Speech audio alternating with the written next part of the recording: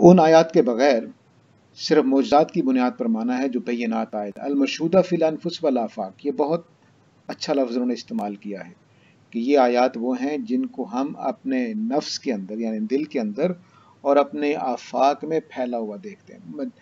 دیکھتے ہیں دل کے اندر اور پھیلی ہوئی ہیں آفاق کے اندر۔ دو دو ہی ہمارے پاس سورس ہیں علم کے اصل میں جو قرآن مجید نے بیان کیے ہیں۔ سورس کا مطلب ہے وہ آبجیکٹس جن کو ہم اسٹڈی کرتے ہیں، ایک ہمارے نفس ہے اور ایک نفس کے باہر جو کچھ ہے۔ تو اسی کی ساری لڑائی ہے۔ جب ڈیکارٹ نے کہا تھا کہ جب میں سوچتا ہوں تو میں ہوں، تو اس میں بھی اس نے انفس کی بات کی تھی۔ اور جو کچھ اس کے باہر ہے اس کو وہ آفاق ساری دنیا کہتی ہے۔ تو ہمارے پاس بس دو ہی آبجیکٹس ہیں جس کے اوپر سارا علم مبنی ہے۔ جو کچھ ہماری سٹڈیز ہیں، وہ ساری کی ساری ان دو پر کھڑی ہیں۔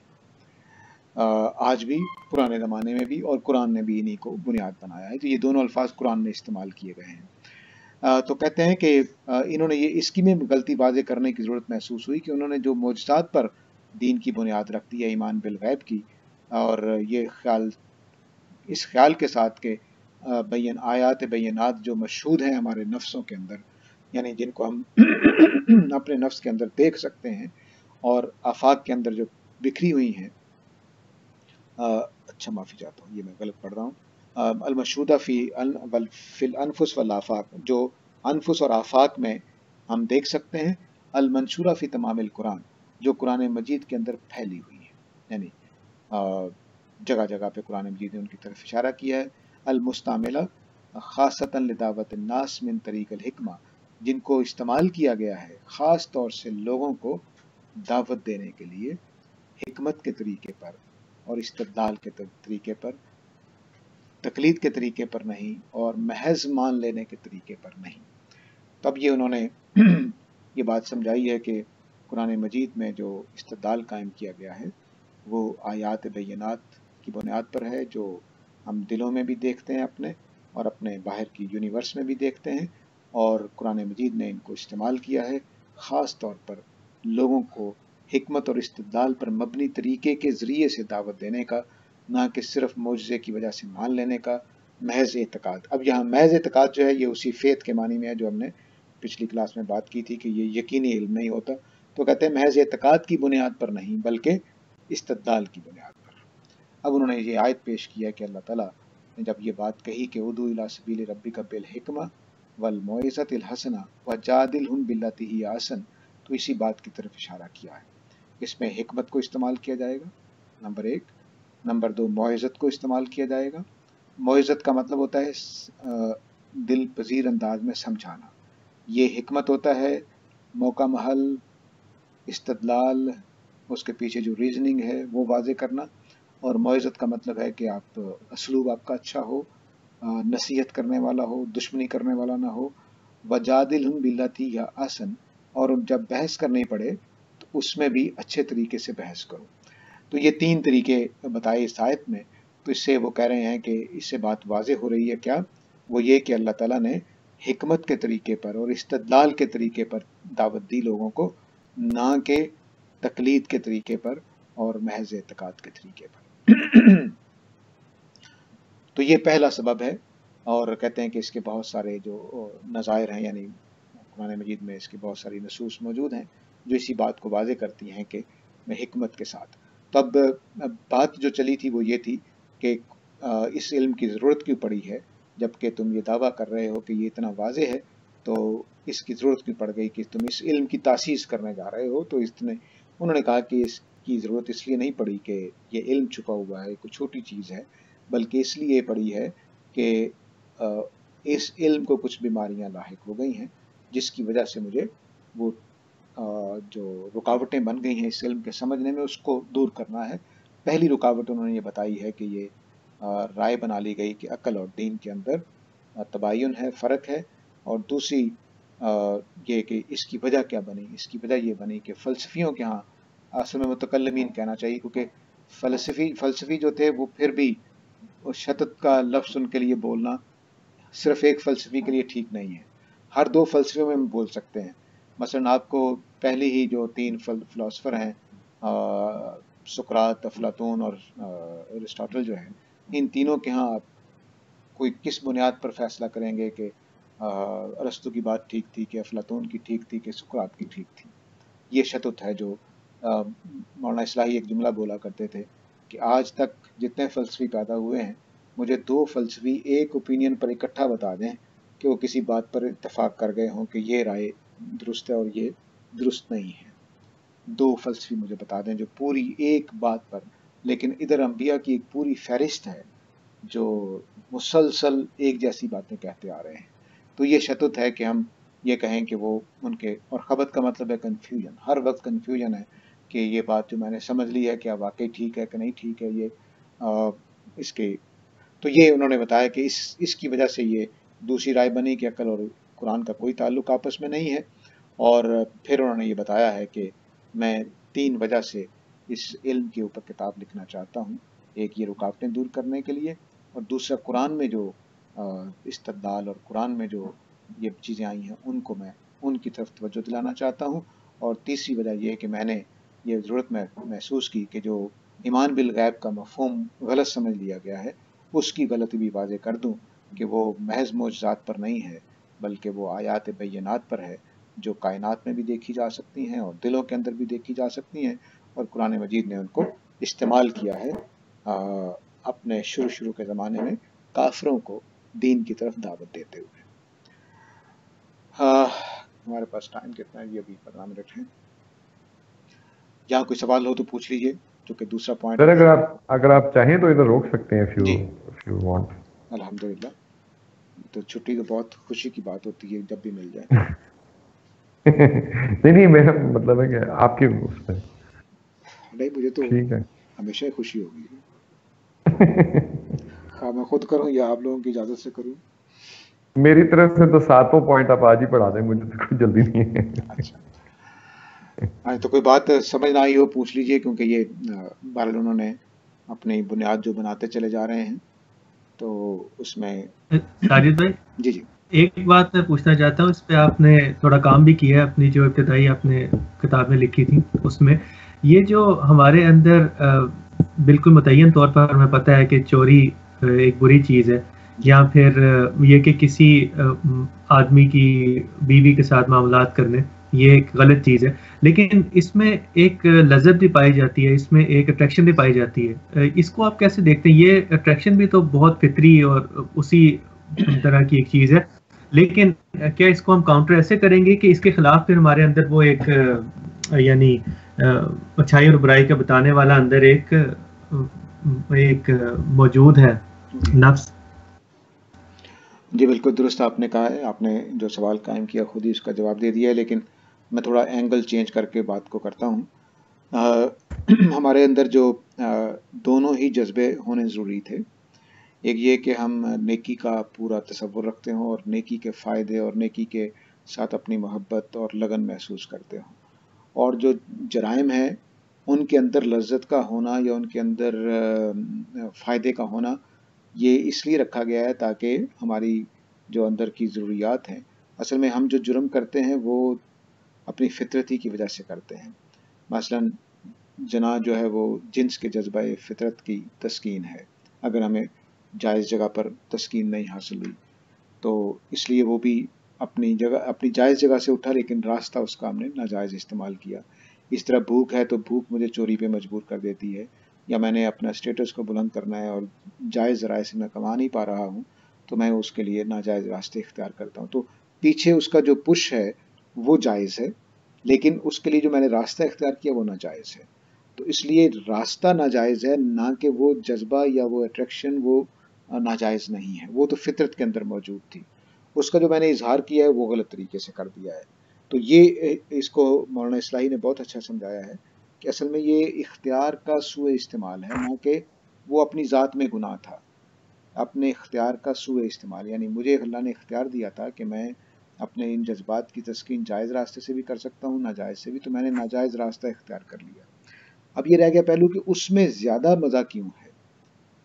وہ اس کی وجہ یہ ہے کہ اس میں کئی وہ کمپاؤنڈ ہو جاتا ہے۔ اس کے اندر کچھ خوف کا ایلیمنٹ شامل ہو جاتا ہے، تو تھرل اور لذت مل کر ڈبل ہو گیا کام۔ تو یہ ایک عجیب انسان کے اندر اللہ نے اس کو ظلم اور جہول بنایا ہے۔ یہ بہت اہم صفت ہے جس کو اصل میں قرآن مجید کا جو خود مطالعہ ہے مولانا اس کے ماہر ہیں اور استاد گرامی بھی، مولانا اصلاحی بھی۔ تو بعض جگہوں پر قرآن مجید ہمیں ایسے جگہ پہ لے آتا ہے کہ آدمی سمجھتا نہیں ہے کہ وہ کیا گیا ہے میرے ساتھ۔ تو میں معافی چاہتا ہوں۔ تو قرآن مجید نے ظلم کا جو وصف بتایا ہے، یہ اس بات کو سمجھاتا ہے۔ ظلم کا مطلب ہے ایسا شخص یا ایسا فرد جو اپنی اپنی ہمت سے زیادہ کام کرنے کو اٹھ کھڑا ہو۔ مثلا میں نے دو ہزار روپے مہینہ کمانے کے لیے ہر روز بجلی کے کھمبے پہ چڑھ جاتا ہوں، ہزاروں واٹ کی تاریں ٹھیک کرتا ہوں۔ یہ کس کا حوصلہ ہے؟ قرآن کہتا ہے کہ میں نے پہاڑوں پر، آسمانوں پر، زمین پر یہ بات پھینک کر دیکھی تو سارے ہی ڈر گئے کہ نہیں نہیں، ہمیں ایسا نہیں کرنا، لیکن انسان نے کر لیا کیونکہ یہ ظلم ہے۔ تو یہ جو ظلم کی تسکین ہے، یہ پھر ہوتی ہے اس وقت جب ہم خطرہ مول لے کر کوئی کام کرتے ہیں۔ تو اس لیے اس میں پھر اٹریکشن بڑھ جاتی ہے، اس میں پھر لذت بڑھ جاتی ہے، اس کا پھر، کیونکہ لذت کا مثلا آپ کو کھانا وہ زیادہ پسند آئے گا جو آپ کے سارے ٹیسٹ برڈز کو مزہ دے رہا ہو۔ وہ کھانا آپ کو پھیکا اور بہت مزہ لگے گا جو صرف ایک ٹیسٹ برڈ کے لیے آپ کے فراہم کر رہا ہو۔ تو یہ مثلا خالی نمک والی چیز اتنی لذیذ نہیں ہوگی جتنی نمک اور مرچوں والی چیز لذیذ ہوگی۔ تو یہ فرق ہے کہ میری تمام فیکلٹیز جو ہیں وہ فلفل ہو جائیں۔ یہ زیادہ مزیدار چیز ہوگی۔ خواہ وہ چوری ہو، خواہ وہ ڈاکہ ہو، خواہ وہ کوئی چیز بھی ہو۔ تو ظاہر ہے کہ اس میں مزاج اور اس طرح کی چیزیں فرق ڈالیں گی کہ کسی کو ڈشز پسند آئے، کھانے پسند آ رہے ہوں گے اور کسی کو پڑھنا پڑھانا پسند آ رہا ہوگا، کیونکہ اس میں اس کی فیکلٹی زیادہ استعمال ہو رہی ہیں۔ یا کس کوئی کھلاڑی بن گیا ہے تو اس کی فیکلٹیز اس میں استعمال ہو رہی ہیں۔ تو یہ ظلم اور جہول کے الفاظ یہ بتاتے ہیں کہ ہمارے نفس کے اندر اپنے آپ کو خطرے میں ڈال کر کام کرنے کا وصف رکھا گیا ہے۔ اور اس جب یہ چیز ساتھ ایڈ ہوتی چلی جائے گی، جس چیز کے ساتھ۔ اب دیکھیے کہ مثلا امام غزالی یا مولانا فرائی جب یہ لکھتے ہیں کہ امام غزالی سے یہ غلطی ہوئی ہے، تو اس میں جو لذت آتی ہوگی کہ میں اتنے بڑے آدمی کو، میں معافی چاہتا ہوں، میں ان کی نیت پر نہیں کہنا چاہ رہا، میں اندر کی دنیا کی بات کر رہا ہوں کہ میں اتنے بڑے آدمی کی غلطی پکڑ لی ہے۔ یہ جو لذت ہے، یہ کہاں ملے گی اس شخص کو جو تقلید اور اندھے پن کے ساتھ کھڑا ہے۔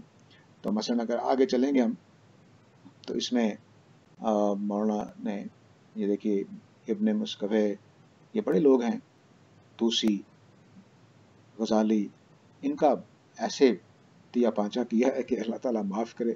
تو یہ ظاہر ہے کہ جب وہ لکھ رہے ہوں گے، تو ان کے اندر ایک ایک اور طرح کی چیز جو ہے، اس کی تسکین ہو رہی ہوگی۔ تو وہ جو تسکین ہے، وہ ظاہر ہے کہ جتنے جتنے آپ کے اندر جرت اندازی کے پہلو ہوں گے، اتنا ہی آپ اس میں، اس کا ظلم والا پہلو لذت پائے گا۔ تو کہیں ظلم مل جائے گا، کہیں کتور مل جائے گا یعنی تھوڑ دلا پن کہیں کنجوسی مل جائے گی، کہیں محبت، مال کی، وہ یہ ساری چیزیں جب اکٹھی ہوتی چلی جاتی ہیں، تو جس ایکٹ میں آپ کی زیادہ سے زیادہ نفس کی چیزیں تسکین پائیں، وہ زیادہ مزیدار عمل ہوگا۔ وہ پاکیزہ بھی ہو سکتا ہے اور غیر پاکیزہ بھی ہو سکتا ہے۔ بہت شکریہ بہت شکریہ۔ آپ نے بڑے بڑی خوبصورتی سے بات سمجھا دی۔ سر میں اس سوال کو اگر تھوڑا سا آگے بڑھاؤں تو ہم دیکھتے ہیں کہ بچپن سے انسان کے اندر ٹیلنٹس ہوتے ہیں اسکلز ہوتی ہیں جس کی بیسس پہ اس کی پرسنالٹی بنتی ہے۔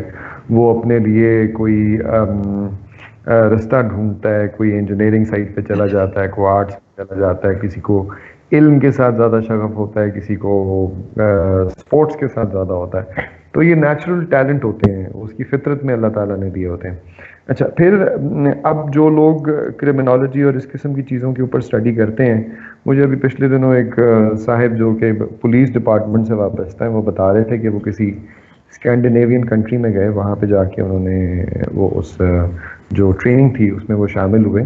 تو وہ باقاعدہ ان کو، جیسے وہ ہم نے بھی سنا ہوا ہے کہ سیریل کلرز اور اس قسم کے جو لوگ جو ہوتے ہیں، ان کا برین اسٹرکچر ہی اور ہوتا ہے۔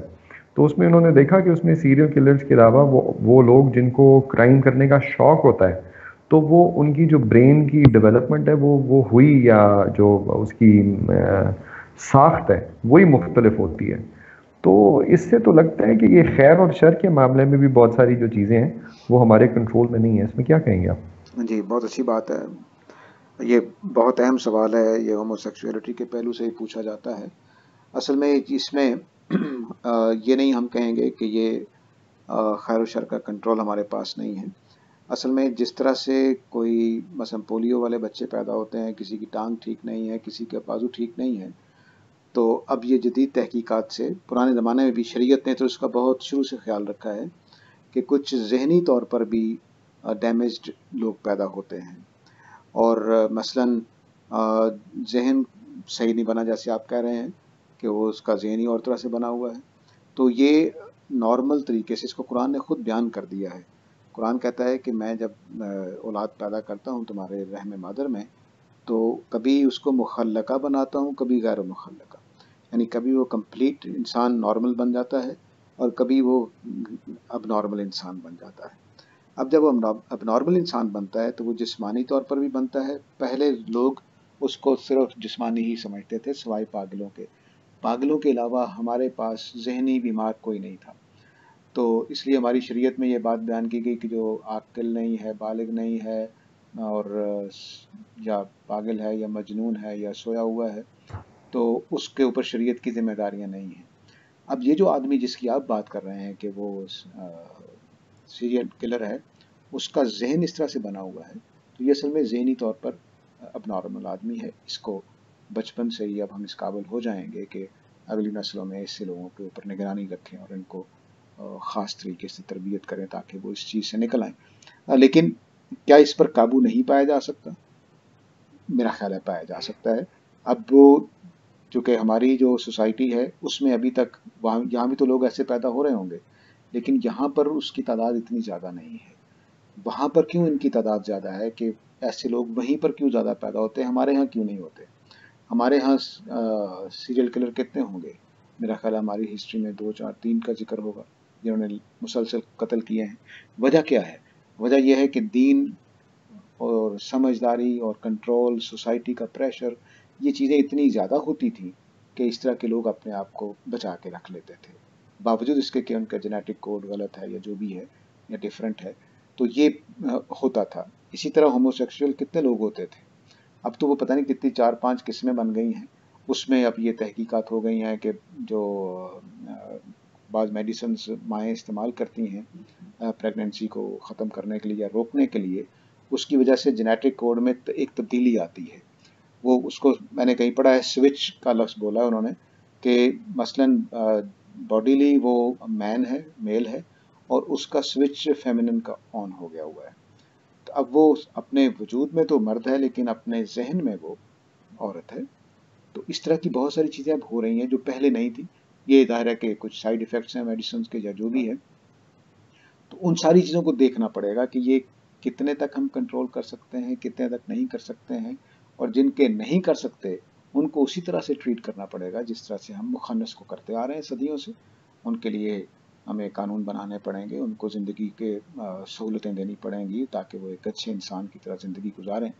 تو یہ پہلو جو ہے وہ وہاں پر جو اس طرح کے لوگ ہیں، ان کے ساتھ ہمیں اسپیشل ٹریٹمنٹ کرنا پڑے گا، جیسے ہم ان لوگوں کے ساتھ اسپیشل ٹریٹمنٹ کرتے ہیں جن کی آنکھیں نہیں ہوتی، جن کے کان نہیں ہوتے، جو تو میرا خیال ہے کہ یہ اس طرح کے دائرے میں ڈالنا پڑے گا ورنہ تو یہ بڑا مشکل ہے۔ جی۔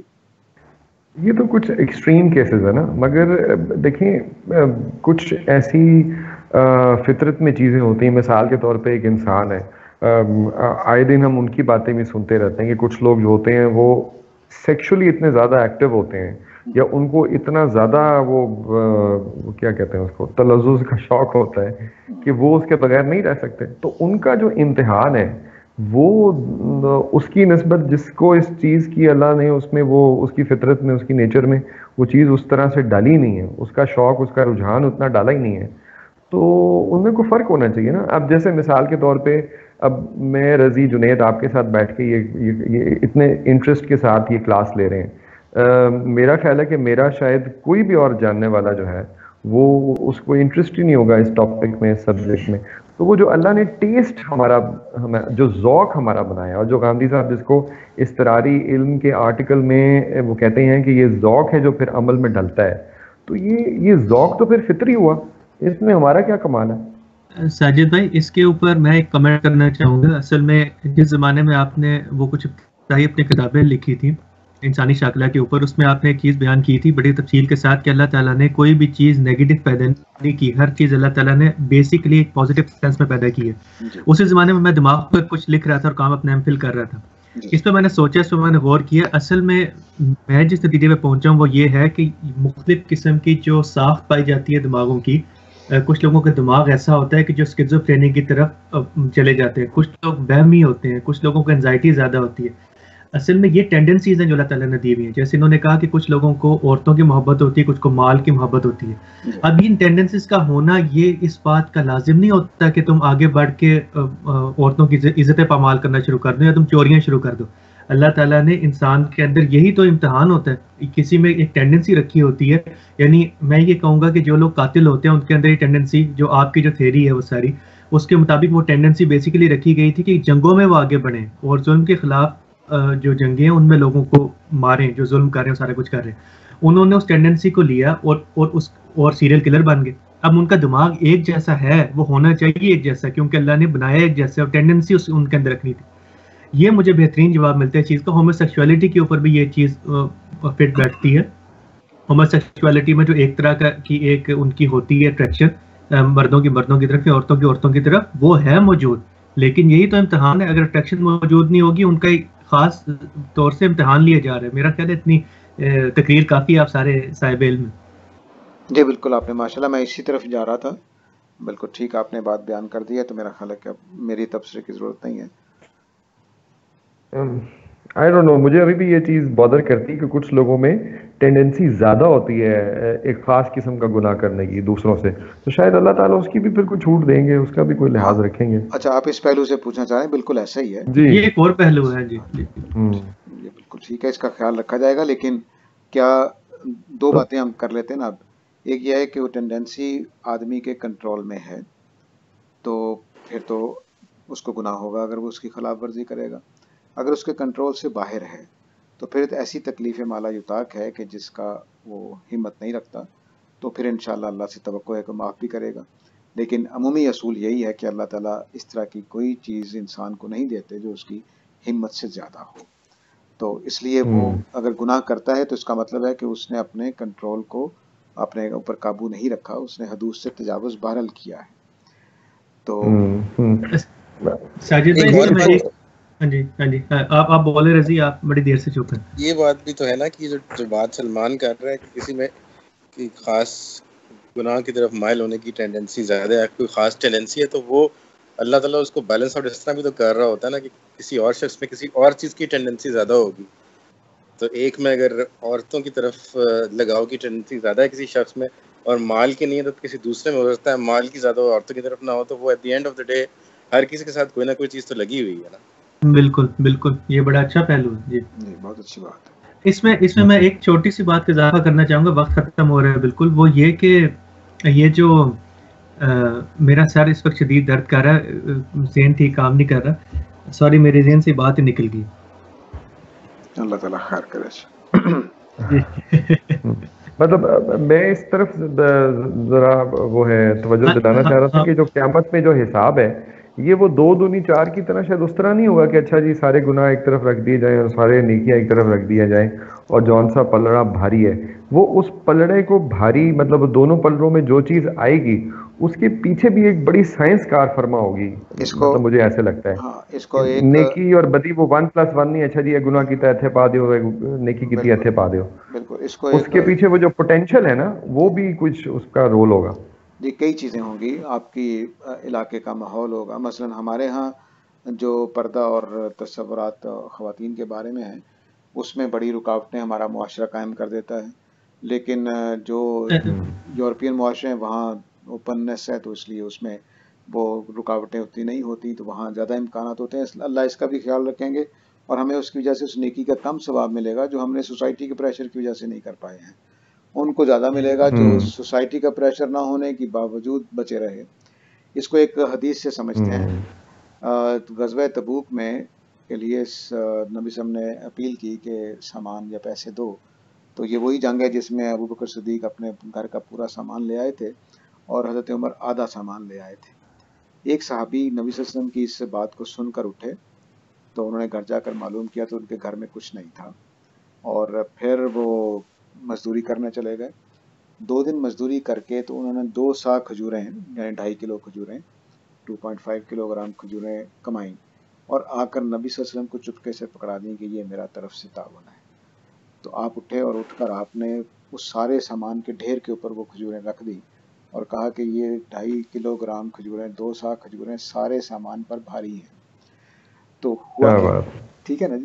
تو آپ دیکھیں کہ اس کی چھوٹی سی ڈھائی کلو کھجوریں ابو بکر صدیق کے گھر کے پورے سامان کے برابر۔ بلکہ سارے جتنا بھی پڑا ہوا تھا اس سے بھاری ہے وہ۔ کیوں؟ کیونکہ اس نے جس طرح سے نیکی کی ہے وہ اٹھا جنگ کے لیے ہے جا کر کمایا ہے کما کر لے کر آ گیا ہے۔ تو اسی طرح سے نیکیوں اور بدیوں کو ہم جس طرح سے دیکھتے ہیں اللہ تعالیٰ اس طرح سے نہیں دیکھیں گے۔ ہاں۔ ہاں۔ سو مطلب میرا بدیوں کے معاملے میں بھی اسی قسم کا معاملہ ہوگا جیسے ابھی آپ نے اگزامپل دی۔ رائٹ جو بات میں کہنا چاہ رہا تھا، بس ایک جملے میں میں یہ کہوں گا کہ یہ جو یہ جو، میرے ساتھ بڑی عجیب معاملہ ہو رہا ہے، میرے ذہن سے بالکل بات نکل جاتی ہے جب میں کرنے لگتا ہوں۔ تو ہاں جی ہاں جی اب میں یہ کہنا چاہ رہا تھا کہ یہ جو ہم سے ہو جاتی ہیں، معاف کیجیے گا، کسی اور وقت بات کریں گے۔ میرا اس وقت ذہن بالکل سر بڑا شدید درد کر رہا، وہ ذہن سے بات بار بار نکل رہی میں کسی اور وقت بات میں اپنے آپ کو تو جانتا ہوں کہ میں انسان ہوں لیکن میرا خیال ہے یا رضی صاحب یا سلمان صاحب جن ہیں۔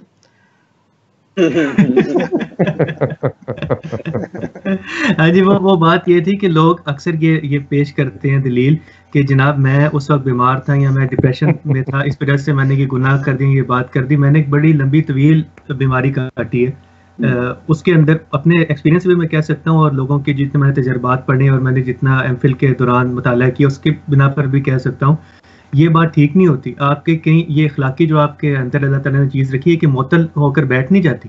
آپ کے اوپر ضرور ایک شدید کیفیت ہوتی ہے، سب کچھ ہوتا ہے، لیکن اچھائی اور برائی کا معاملہ بالکل ختم ہو کر کہیں پر تحلیل نہیں ہو جاتا۔ وہ بھی چیز اندر بیٹھی ہوئی ہوتی ہے۔ آپ کو بالکل پتہ چل رہا ہوتا ہے کہ یہ اچھائی کیا اور یہ اور برائی کیا ہے۔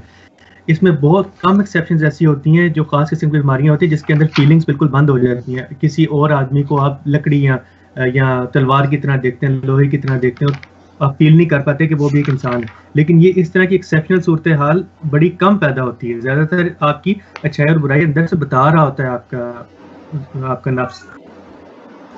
درست بات۔ میرا خیال ہے اس سے پہلے کہ میرا دماغ پھٹ جائے تو میں اجازت چاہتا ہوں ختم کرتے ہیں سیشن کو۔ جی ٹھیک ہے۔ سر یہ ایک موضوع سے ہٹ کے ایک سوال تھا۔ جی۔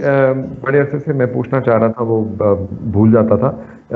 یہ مغرب کا جو وقت ہے یہ مجھے شاید رضی بتا رہا تھا کہ کوئی جاوید صاحب نے کلاس میں کہا ہے کہ یہ پونا گھنٹہ ہے فورٹی فائیو منٹ سے اب جب اذان ہوتی ہے اس کے بعد سے۔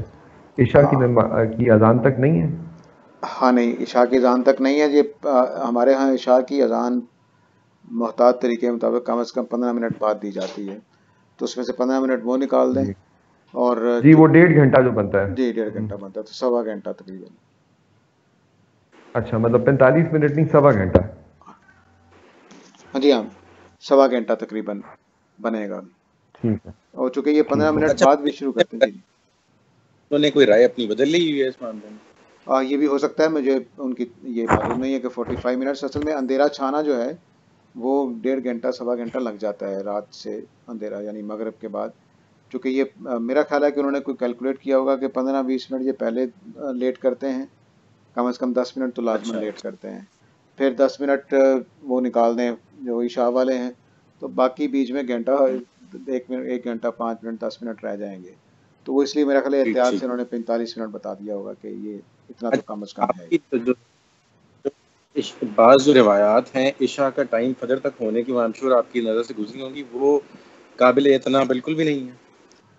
ہاں وہ اصل میں قابل اتنا ہو سکتی ہیں۔ وہ لگتا یہ ہے کہ فقی فتوے کی روشنی میں بنی ہیں۔ کیونکہ احناف نے اچھا۔ یہ اصول بنا لیا کہ لگتا یہ ہے کہ ایک نماز کا ختم ہوتا ہے ٹائم تو دوسری کا شروع ہو جاتا ہے۔ تو دن کی جی۔ نمازوں میں بھی اس کی خلاف ورزی پائی جاتی ہے۔ مثلا فجر کا ٹائم ختم ہوا تو زہر کا تو نہیں شروع ہوتا۔ تو ایسا ہی رات کو بھی ہے کہ عشاء کا ٹائم ختم ہوا تو فجر کا نہیں آنا چاہیے۔ اور اس وجہ سے پھر وہ اس پر تردد سا رہتا ہے۔ لیکن بہرحال روایتیں تو موجود ہیں کہ آپ فجر تک پڑھ سکتے ہیں تو جس کا اطمینان ہو وہ پڑھ سکتا ہے کوئی ایسا مسئلہ نہیں۔ تو یہ جو آدھی رات کے وقت عشاء کی نماز ختم ہونے والی بات ہے یہ اسی سے لی گئی ہے کہ آدھی رات کے بعد تہجد کا وقت شروع ہو جاتا ہے۔ جی ہاں۔ ٹھیک ہے۔